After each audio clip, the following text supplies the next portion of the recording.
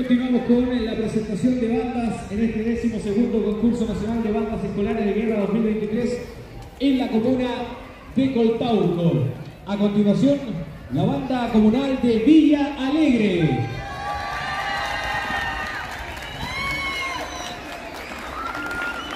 La banda comunal de Villa Alegre nace a la vida pública un 12 de septiembre del año 2012, realizando su primera presentación en la localidad de Peñuelas, luego de cuatro meses de formación e instrucción.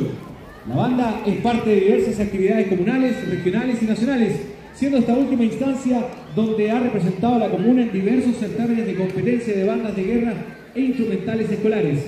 Han sido con estas competencias de donde han obtenido excelentes resultados, destacando así por su disciplina y musicalización. Su directora e instructora es Verónica Alvarado Hernández. Sus instructores son Francisco Rebeco Garrido, William Gutiérrez Troncoso. Fuerte el aplauso para la banda comunal de Villa Alegre.